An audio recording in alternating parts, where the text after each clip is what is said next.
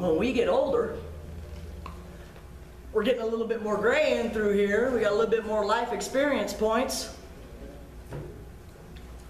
We start having multiple losses. And we start searching for meaning in our living, in our own lives. Most older adults start getting more involved in trying to improve society. Remember Maslow? That self-actualization point?